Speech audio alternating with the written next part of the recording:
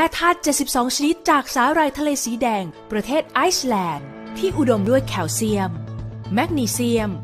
วิตามิน D3 และแร่ธาตุอื่น ๆ อีกกว่า 70 ชนิด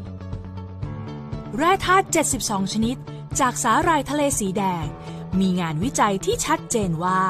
สามารถต้านการอักเสบของเซลล์ จึงมีส่วนช่วยลดความเสื่อมในหลากหลายระบบในร่างกาย ลดการเสื่อมของเซลล์ผิว อันเป็นเหตุให้เกิดปัญหาผิวพรรณรอยเหี่ยวย่น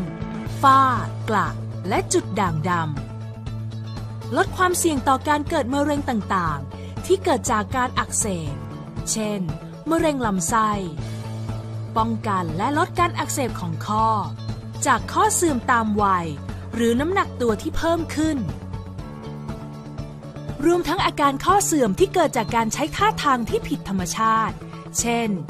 การสวมใส่รองเท้าส้นสูง การนั่งพับเพียบ นั่งยองๆขัดสมาธิหรือคุกเข่าเป็นเวลานาน การออกกำลังกายที่มีการกระแทกของข้อแรงๆ หรือแม้แต่การนั่งเล่นโซเชียล โดยก้มหน้าและไม่มีพนักพิง ซึ่งจะส่งผลเสียต่อกระดูกข้อต่อต่างๆ และทำให้เกิดการปวด อักเสบของข้อได้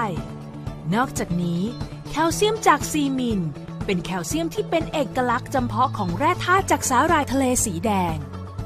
ซึ่งแตกต่างจากแคลเซียมรูปแบบอื่น ๆ เนื่องจากมีโครงสร้างแบบรังผึ้งที่มีรูพรุน จึงมีพื้นที่สัมผัสมากกว่าแร่ธาตุจากหินปูน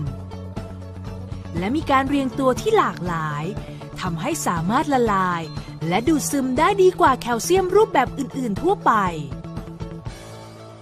นอกเหนือจากแคลเซียม ในซีมินยังมีแมกนีเซียม และแร่ธาตุอื่น ๆ อีกมากมาย